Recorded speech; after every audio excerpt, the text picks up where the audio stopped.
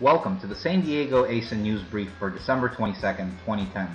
My name is Eugene Davidovich with San Diego Americans for Safe Access. With Hanukkah days behind us, Christmas and New Year's only days away, on behalf of everyone here at San Diego ASA, I'd like to wish you a very happy and joyous holidays. Last week on December 15th at the Portugalia restaurant in Ocean Beach, our local chapter held our annual holiday party. This time, we decided to do things a little differently, and we teamed up with a number of great organizations in San Diego. The folks that helped in organizing the actual event that night were Nicole with LCI, the two attorneys Melissa Bobrow and Kimberly Sims, and of course James Holland of Proteus 420. The other groups very closely involved who helped sponsor the holiday party were San Diego Americans for Safe Access, the Legal Cannabis Institute, the Green Door Collective, Proteus 420, law offices of Kimberly Sims, law offices of Melissa Bobrow, Nug Magazine, and Kush Magazine. Aside from having a great time that night and having almost 200 people come through the restaurant, we saw a magic show,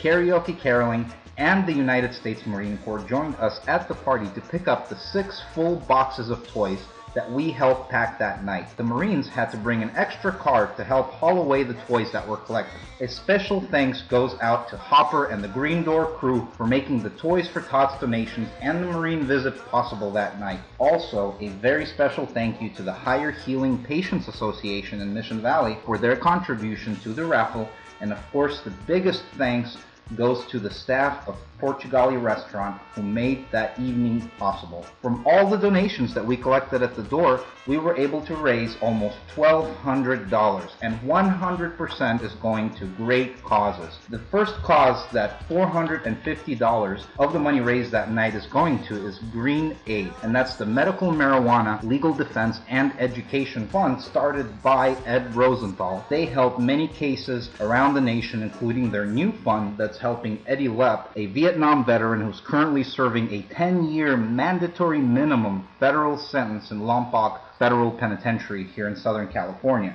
Another great organization that $450 is going to is Street of Dreams. Street of Dreams is a nonprofit organization of musicians, graphic artists, photographers, and recording producers all dedicated to giving creative and educational support to high-risk kids in urban San Diego. $150 raised that night goes to our local chapter of San Diego ASA and another 150 goes to ASA National. Thank you everyone for getting together and making the evening possible that night and for helping great causes here in San Diego as well as across the nation.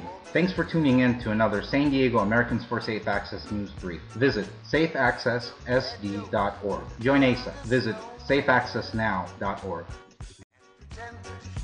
Parson Brown.